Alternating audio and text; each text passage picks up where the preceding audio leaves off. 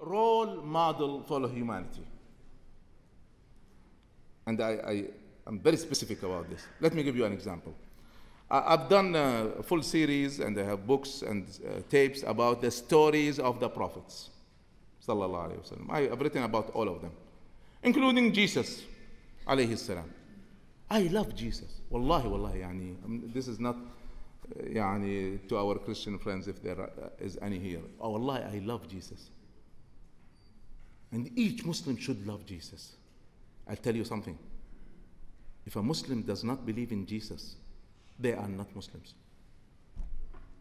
It's very clear in Islam. Huh? This, is, this is a unanimous agreement. If any Muslim rejects Jesus, that person is not a Muslim. That is the ruling of Islam unanimously. No disagreement on this issue. But I cannot take Jesus as a role model in my relation with my wife because he was not married. So, how can I take him as a model? I cannot take Jesus salam, as a model for a head of state because he did not govern. I cannot take Jesus salam, with all my love and respect for him as a model for parenting. He did not have any children. Etc., etc., etc. The Prophet ﷺ was a prophet, was the political leader, the head of the state, was the judge, was the military ruler. there is a full study on this, and we call them the roles of the Prophet ﷺ, and there are 13 different roles. 13. Many of those brothers and sisters, I'm talking here especially to those who study Islam, do not distinguish between these roles. They don't have any distinction. They mix. So if the Prophet ﷺ said something, then it is religion. No, not always. It is not always whatever he says is religion.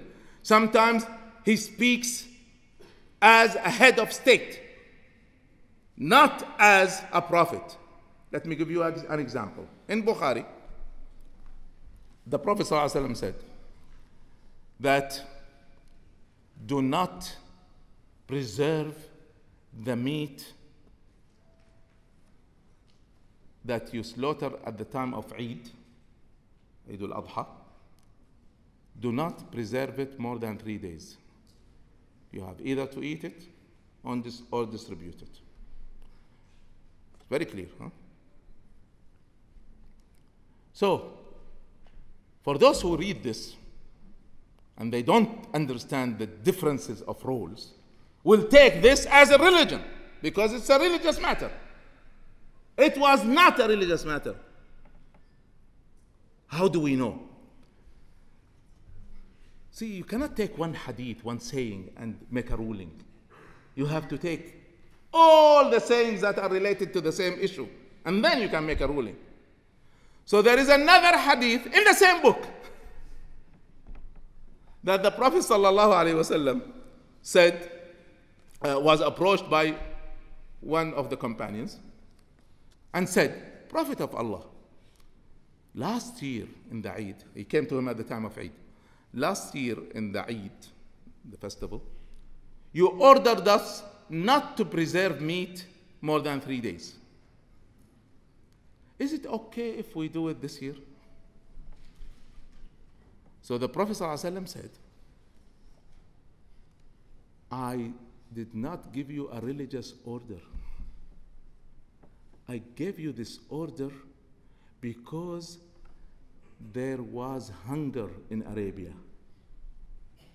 And many tribes who could not find food came and camped around Medina. So I wanted to feed them.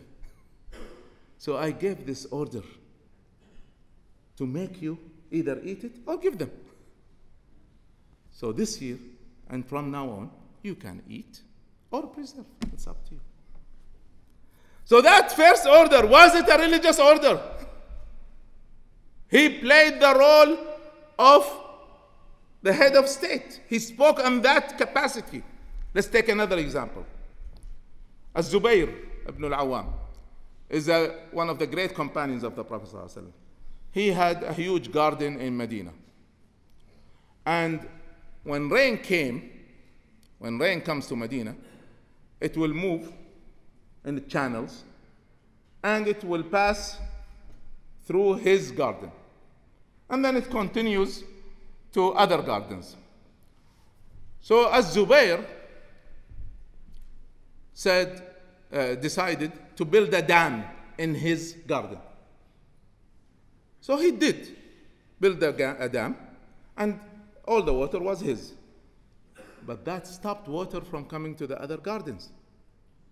So one of the companions who had another garden that now doesn't have any water complained to the Prophet. ﷺ.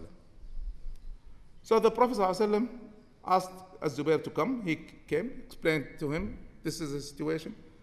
So he said, the Prophet ﷺ said, Zubair, take what you need and leave the rest to the others. See, the, the companions understood that he plays different roles. And if they are in doubt, they will ask. So the Zubair said, O Prophet of Allah, are you giving me an order or are you advising me? He said, No, I'm advising you. Zubair said, I will not do it. He refused the order of the Prophet because it was not an order. They did not take all his words as religion. It depends on the role he plays. Another example when the Prophet ﷺ went to the first major battle of Islam, Badr. He camped in a certain area. Al Hubab ibn al Mundir, one of the companions, he was not a leader, he was a soldier in the army. Came to him. Look, look, yeah, they distinguish very clearly. And if they cannot, they ask. So he came to the Prophet. ﷺ. He said, O Prophet of Allah, did you choose this place to camp because it is the revelation from Allah? أهو الوحي أم هي الحرب والرأي والمكيدة or is it a military choice that you thought it would be the best? He said, No, it is not a revelation. It is my choice as a military leader. He said, Hubab said, Oh Prophet of Allah, this is a bad decision. And he showed him why it was a bad decision. And the Prophet ﷺ agreed it was a bad decision and he moved the camp. So, not everything that he says is a religious saying. Last example, nice example. There was a woman in Medina, her name is Barira, who was married to a man, his name is Mughith. And they both were slaves. Barira was freed by her owner.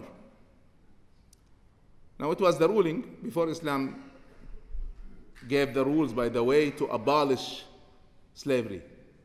So, all the rules came gradually. So, this is before that.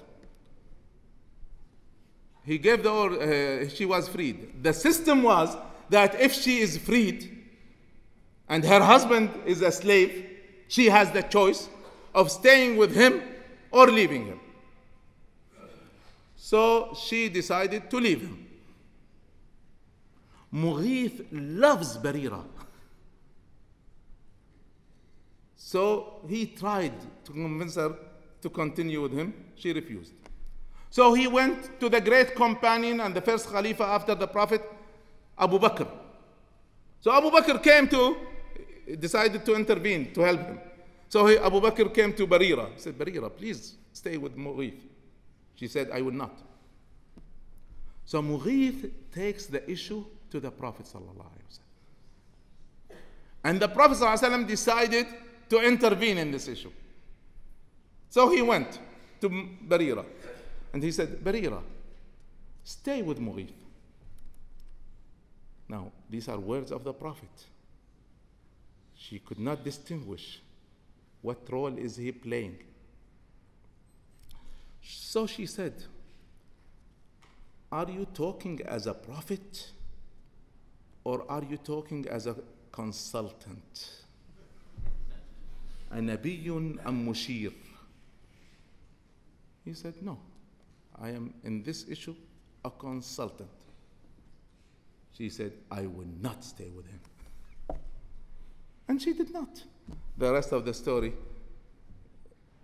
Mughith continued to walk behind Barira wherever she goes. Please stay with me. story of great story of love. One-sided love. so back to the issue of murtad, those who leave their religion. Now, if it is a law, the Prophet ﷺ will apply the law no matter what. In all cases, right? The Prophet says, so there is a law that we cut off the hand of the thieves. This is a law. And the Prophet ﷺ says, Wallahi, if my own daughter Fatima steals, I would cut off her hand. It's a law. Now it is proven that there are people who left their deen and the Prophet ﷺ did not kill them. So it's not a law. He was speaking, inshallah, he was speaking in the capacity of a head of state. Why? It is in the Quran that a group of the Jews wanted to shake the faith of the new Muslims. This is in the Quran. And said, let us embrace Islam in the morning and leave it at night. And tell everyone that we became Muslims, we saw it's a bad religion, and uh, we have the knowledge as Jews of the scriptures, and we have seen that it is wrong, so that's why we left it. So they wanted to play a game. The Prophet ﷺ, shukran, in response to this game, gave the order if you change your religion, you will be killed. You cannot play with religion. So it was a political order. How do we know it's a political order? Again, if it was a law, it will be applied to anyone, no exception. I can give you at least seven exceptions that people changed their religion and they were not killed by the Prophet. ﷺ. So we really, really need to really understand Islam from the original sources, how it was applied by the Prophet ﷺ and by the Khulafa al-Rashidin, the four, the first four, that the Prophet ﷺ told us to take them as role models because they applied the true Islam. So anything that came later in history, the Umayyad dynasty, the Abbasid dynasty, the Ottoman dynasty, the present kingdoms, etc. This, is, this has nothing to do with Islam. Huh? We go to the original Islam. So that is the, the message that we are spreading today. And we believe that those who reject us do it out of tradition, do it out of the way they were taught. They never heard about this before. So it is wrong. What kind of logic is that? You have not heard about it, then it is wrong. what is that? That is not logic, huh? That is not a proof. You go and study the proofs. I want to give one example that I gave to Azman and the brothers before I came here. Many uh, non Muslims laugh at our Prophet ﷺ because he married a child, Aisha. Now let's go back to this and use, use the correct sources. A narrator said and this is in Bukhari, that the Prophet ﷺ married Aisha when she was nine. The contract was when she was nine. And then the actual marriage happened when she was 11. Now, this is a saying by one man. And this is in Bukhari. But there is another hadith in Bukhari. And go and check it. That Aisha says, I